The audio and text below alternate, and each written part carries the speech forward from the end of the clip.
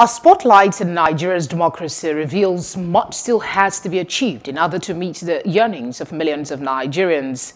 This was as Nigeria's political class converged on the Musa Yar'Adua Center in Abuja during the launch of a book titled Democracy Without Development, How to Fix It.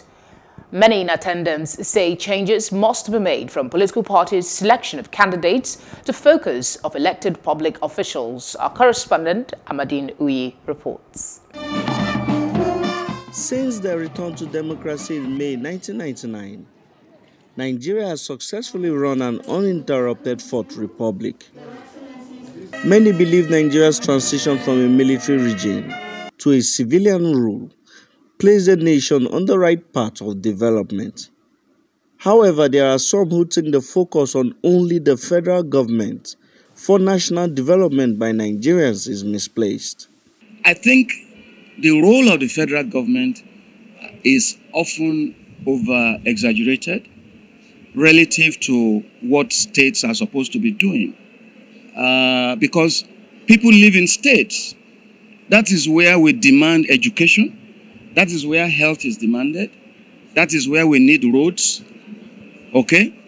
So the, the earlier we begin to shift attention and emphasis of the quality of governance to states and local government, the better for the people of this country. The essence of democracy is to get your agent who is elected, that politician, to take your interests and put it on the table and make sure your interest determines public policy.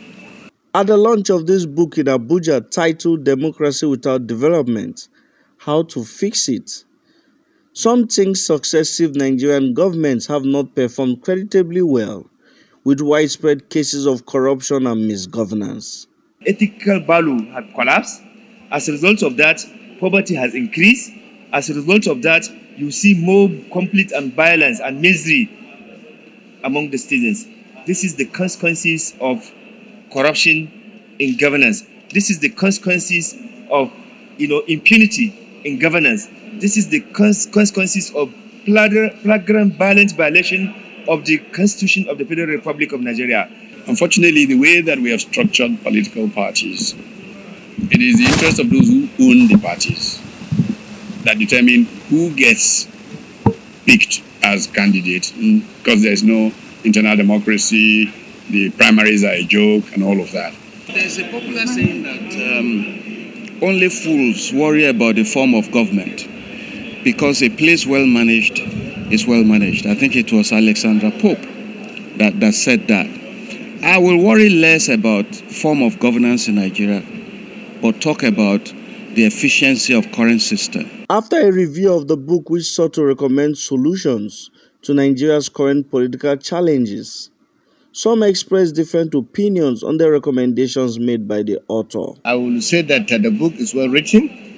Uh, he was very articulate uh, and it was well researched. Uh, but uh, I disagree with the author in one or two areas, although I agree with him in many areas of uh, of the book. Dr. Omano is a scholar that has taken a lot of interest in the trajectory of developmental states. Uh, states with a strong public sector, strong industrial policies, and competent public servants to drive progress and development. The book seeks to provide a roadmap for government to tackle Nigeria's myriad of challenges. Amadine Uyi, Plus TV Africa. Hello, hope you enjoyed the news. Please do subscribe to our YouTube channel and don't forget to hit the notification button so you get notified about fresh news updates.